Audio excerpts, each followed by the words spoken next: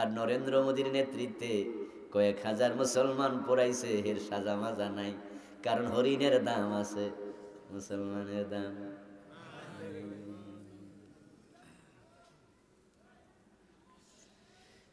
সাদ্দাম বারবার বলেছিল, আমার দেশে পরমাণু অস্ত্র নাই।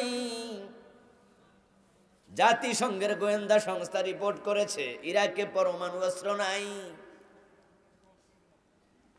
কিন্তু জুনিয়র বুশ একথা মানে নাই। আক্রমণ করে পুরা ইরাককে মেসাকার করে দিল, লক্ষ লক্ষ মুসলমান শহীদ করল, হাজার হাজার বাড়িঘর ভেঙে দিল। ইরাক দখল করার পরে কয়টা পরমাণু বোমা পাইছে? আমেরিকা কি একবার সরি কইছে যে ভুল হইয়া গেছে? না।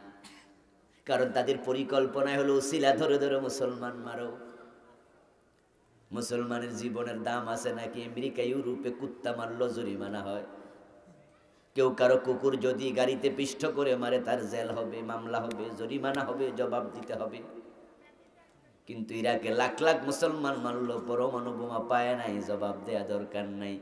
কারণ তারা সবাই প্ল্যান করেছে, মুসলমান মারো। তাই ইরাকে মারে, ইরানে মারে। আফগানিস্তানে মারে, সোমালিয়ায় মারে, কাশ্মীরে মারে, ফিলিস্তিনের দিকে তাকাও, দ্বিতীয় বিশ্বযুদ্ধের পরে ফিলিস্তিন নামক দেশ এতটা মুসিবতে পড়ে গেছে। ওই ফিলিস্তিনে ঈদের দিন পর্যন্ত ইহুদিরা গুলি করে মুসলমান মারে, ঈদের নামাজটাকেও ঠিক মতো পড়তে কে মারে না? হিন্দুরা ভারতে মারে, ইরাক, আফগানিস্তানে খ্রিস্টানরা মারে। ইয়ামান, সিরিয়ায় মারতেছে। মায়ানমারে, বৌদ্ধরা মারে, ফিলিস্তিনি ইহুদিরা মারে। তো কারা মারে না? তারা সবাই একমত, আমাদেরকে মারবেই।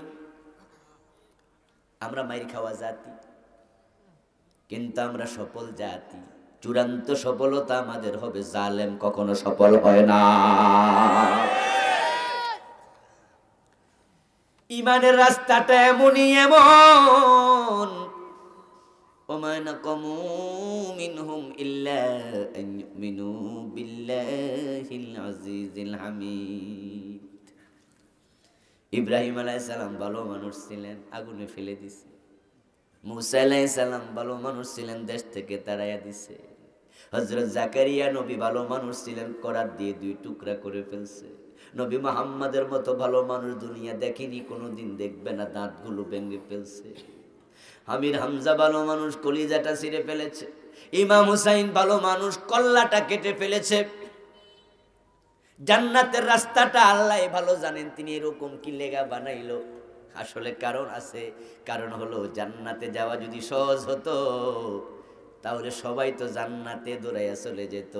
আল্লাহ তাআলা জান্নাতের মতো এত বড় দামি নিয়ামত, যারা হতবাগা তাদের কপালে দেন না। এজন্য তিনি কিছু পরীক্ষা দিলেন আহসিবান্নাস আন্যতরাকু আন্যাকুলু আমান্না ওয়া হুম লা ইফতানুন তুমি কি মনে করেছো ইমানে নিচি বললে জান্নাত দিয়ে দেব অসম্ভব তোমাদেরকে পরীক্ষা করে দেখা হবে তোমার ইমানটা আসল না ভেজাল ولنبلونكم بشيء من الخوف والجوع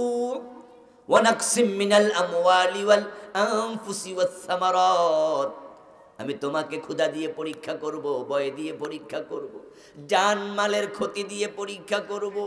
এমনও যোগ গেছে, একদিনে অসংখ্য নবীকে হত্যা করেছে। তো তফসিরে কাশ্যপ প্রণেতা একটি হাদিস এনেছেন, ওয়াক্তুলুনাল আম্বিয়া বিগাইরি হাক্কিন। এই আয়াতের মাথা হাতে হাদিসে বিশ্ব নবী বলেন বান ইসরায়েলের লোকেরা একদিন সকাল বেলায় তেতাল্লিশ জন নবীকে একসাথে জড়ো করে জবে করে দিয়েছে।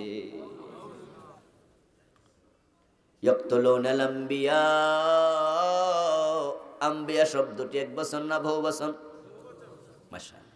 এক বছর হলো নবী, আম্বিয়া হলো বহু বছর। ইয়াকতুলুনা এক বছর নয়, এটাও বহু বছর। কাতালা ইয়াকতুলু ইয়াকতুলু এক বছর, ইয়াকতুলুনা বহু বছর। আল্লাহ নবীদেরকে জবাই করেছে। তারা দোষী ছিলেন না, শুধুমাত্র দিনের পথে থাকার কারণে। ঠিক এই জুলুম বর্তমান যুগেও হবে, ভবিষ্যতেও হবে।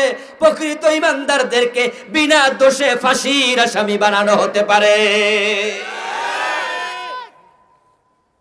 তারা সমাজে ভালো মানুষ, কিন্তু তাদের বিরুদ্ধে এমন প্রচার প্রবাকাণ্ডা চালাবে। মানুষ বিভ্রান্ত হবে, মানুষ মনে করবে হ্যাঁ